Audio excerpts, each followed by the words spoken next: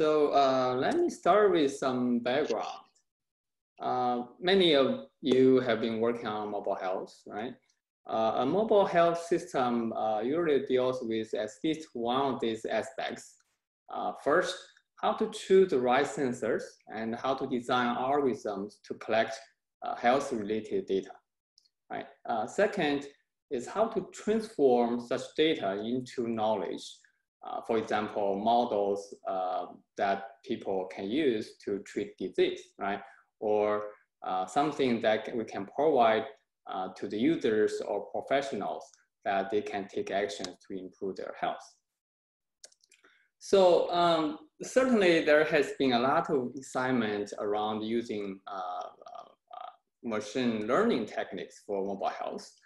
Um, so there has been significant uh, progress in machine learning field uh, in terms of algorithms, uh, in terms of how to actually apply AI to different fields.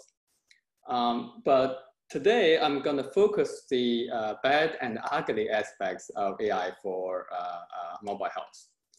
Um, although we have seen a lot of uh, progress in this field, uh, which has enabled a whole range of advanced algorithms that can run on today's off-the-shelf mobile devices, and uh, many of them are for actually health-related applications. But uh, I, I, in my opinion, um, we still face a, a couple of challenges, uh, which are a lack of data and also uh, data privacy.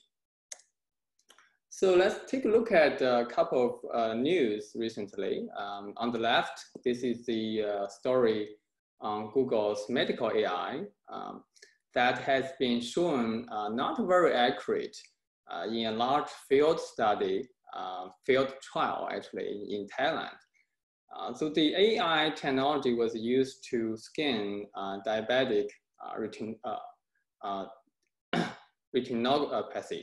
Basically, you take a picture of the eye and try to detect whether this person has diabetes, right?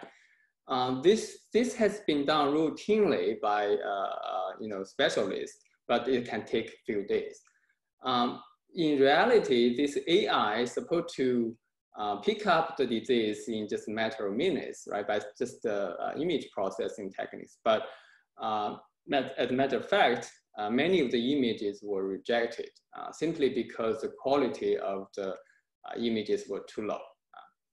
so um, on, on the right, we can see a, another news story, which says basically Amazon workers are listening to um, your conversations, try to label the data.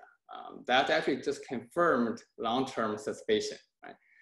Um, we also hear, you know, other stories uh, that uh, applications of AI is not so successful. Uh, for example, uh, IBM Watson Health project uh, was not doing so well, at least in the field of uh, oncology keep in mind here, we're actually talking about uh, either image processing or language, natural language processing, right? Which are actually considered to be most developed, uh, most mature fields of, of AI, right? Uh, for many cases of health uh, data, um, we actually face even bigger challenges because this data not only hard to label, um, but in some cases are just hard to access, right? Because of extreme, uh, extremely sensitive nature of, of this data. So I will briefly touch upon uh, these challenges um, from some of our experience uh, on, on, a couple of projects. So first project has to do with running. Um, running is a very popular exercise, as we know. Um, so here we'll focus on studying running rhythm, uh, which can quantify the uh, level of coordination between breathing and stress. Uh, as uh, new runners, uh, I sometimes find myself uh, gasping for air right, if I run just for a short period of time. Um, simply because I don't have good coordination between breathing and my footsteps. And this is a, how we actually define uh, running rhythm uh, formally. So basically it's defined as a number of strides uh, during a whole uh, breathing cycle. and to actually measure or improve something like that, uh, there are actually professional uh, equipment like uh, CPAD. Um, professional runners regularly use this uh, such uh, equipment to help measure the you know lung capacity, their running efficiency, things like that. Uh, our goal here uh, is to design a system um, which is called uh, Buddy uh, that can help people to measure and uh, measure the level of coordination uh, during running. basically, from this app, you can see it measures the frequency of running, frequency of footsteps, and frequency of breathing, and then calculate the rhythm of running. And uh, this is uh, how we actually do it. Um, first, we through a one-time training process, uh, users can basically breathe into a, a phone, uh, breathe uh, into a, a, Bluetooth earset uh, connected to a phone. And the signature of the breathing was recorded. And then during running, um, we can extract features and then uh, using a simple algorithm, cosine similarity to detect breathing. Uh, this is done through uh, sound uh, from, from the Bluetooth uh, uh, microphone. however, the challenge here is, as we know, this acoustic data is often very noisy, right? Especially when we're running against the wind in outdoor or running on a treadmill in a gym, lot of noise around. So uh, we can see example here, uh, if we run uh, in a very quiet uh, environment, can see uh, a, a, lot of peaks, right? This actually can correspond to um, inhale, inhalation. Um, this is the ground truth.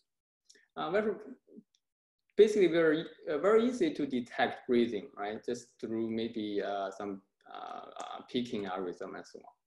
But if you run, you're running on public road, uh, you can see a lot of noise uh, that can lead to false alarms, things like that.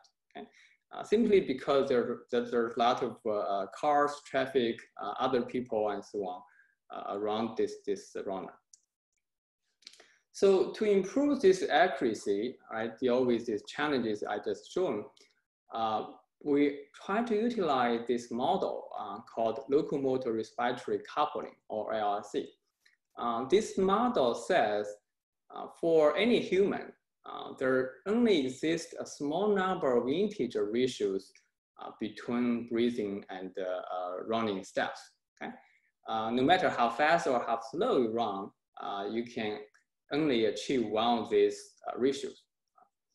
Uh, this is a very, very interesting phenomenon and which actually exists for many mammals, including human. Now, based on this uh, knowledge, we actually can uh, try to improve the accuracy of, of detecting breathing and uh, uh the ratio of breathing of, of, steps.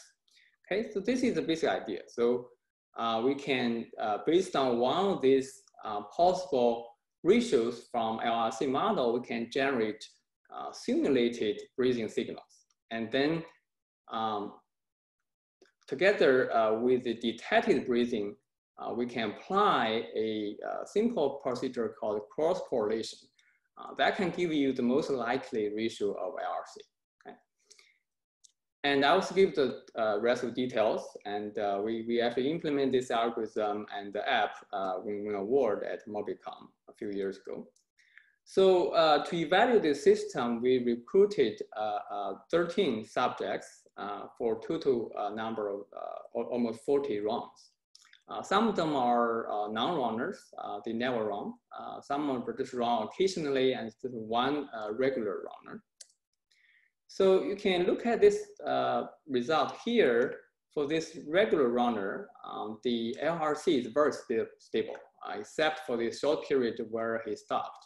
Um, and basically, no matter you know how fast he runs, the LRC always is always stable. Uh, this actually confirms uh, uh, actually a common knowledge. Um, but for non-runners, you can see their LRCs are all over the place. Okay?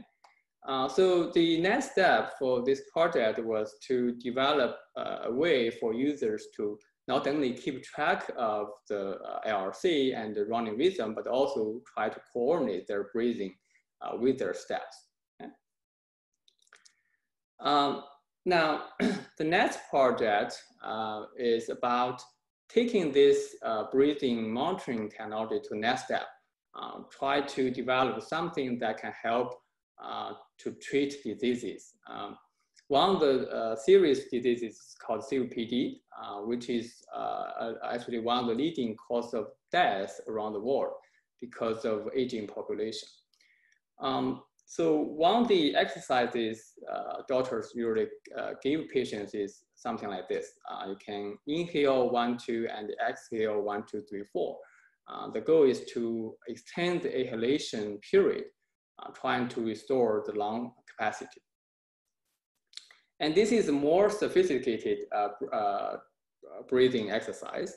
Uh, it's called RSABT. Um, so the basic, really, the basic idea is try to breathe in sync with your heartbeat changes. Okay? And this uh, exercise has been shown to be effective uh, not only to uh, treat pulmonary diseases, but also to mitigate stress, things like that. Uh, however, uh, such uh, breathing exercise is usually done in a clinical setting with the help of uh, therapists and also uh, equipment like this that measures the uh, physiological signals.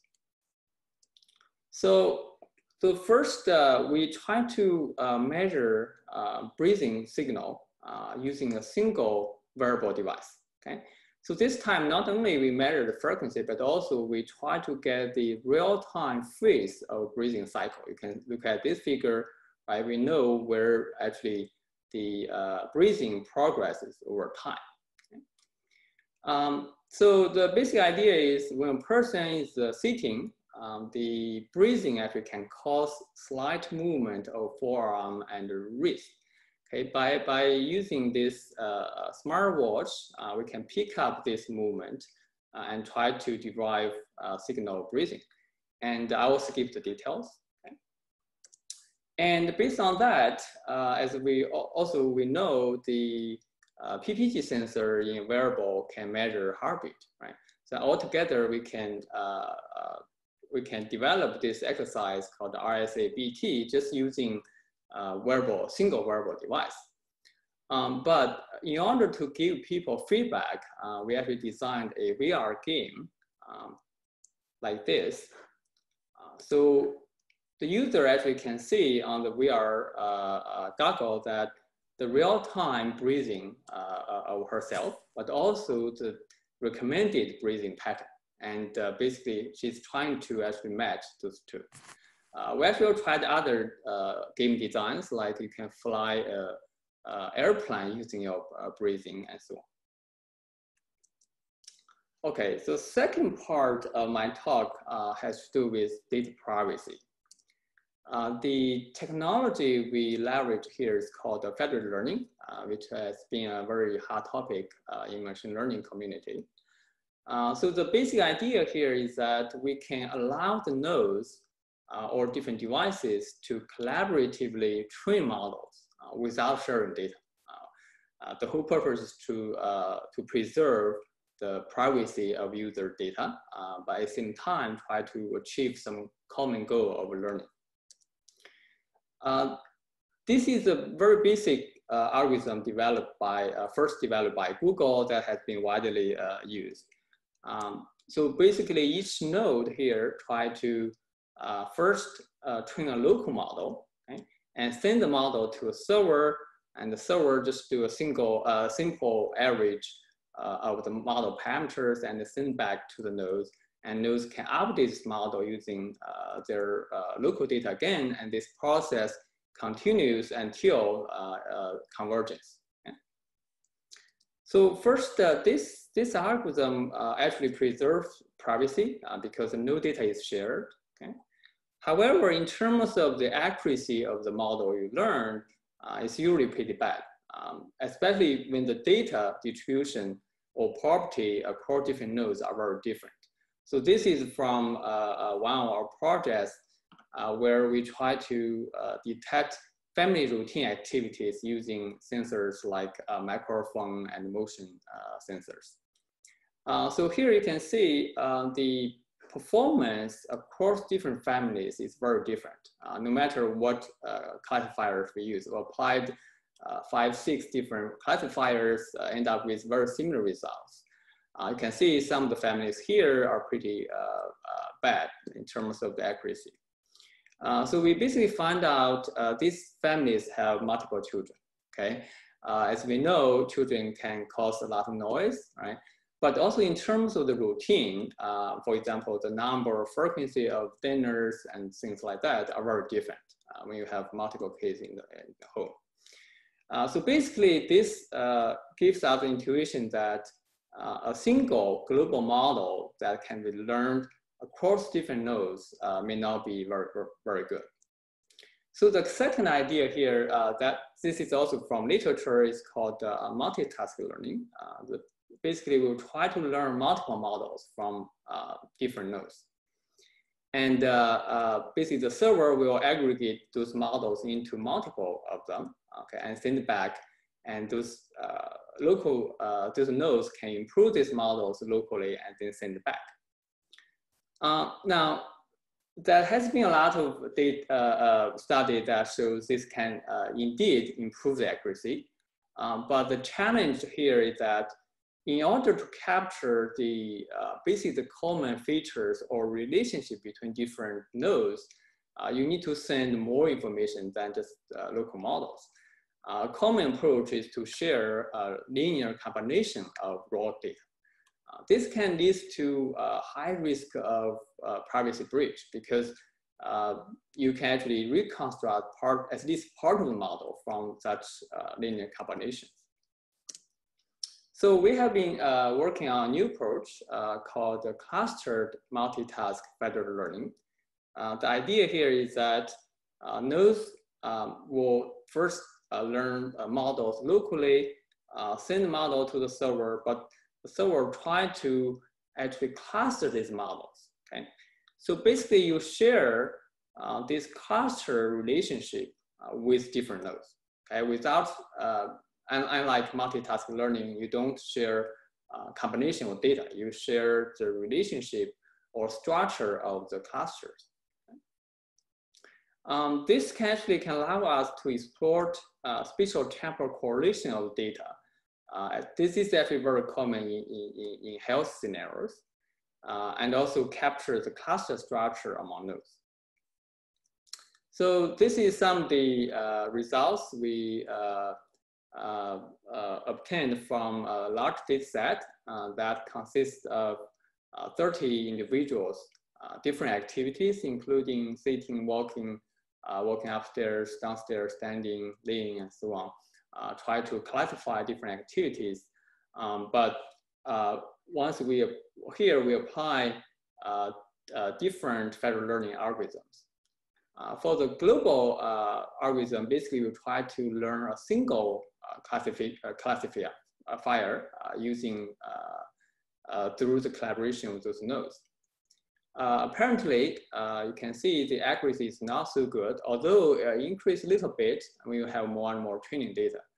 Um, basically, um, this is because of, uh, people actually walk or uh, uh, walk upstairs, downstairs very differently, depending on the age, weight, and so on. This is the performance of a local model where each node trains the model independently, just using their, their own data. And finally, here is our approach. Uh, you can see uh, just with very little data, we actually can achieve uh, quite good performance. All right, so um, with that, um, I'd like to conclude this talk. Um, the takeaway message is first, uh, we can actually explore uh, physiological or biological models uh, from established um, uh, theories, like uh, uh, a lot of um, medical models that we can use, um, basically we can remove the need of um, a large amount of data for training. Okay. second, federated learning can preserve privacy. Uh, however, in order to improve accuracy at the same time, uh, we need, need better ways to capture relationship between data of different individuals, uh, which is actually still a, a, very active area of research. Okay, so with that, I will be happy to take uh, any questions.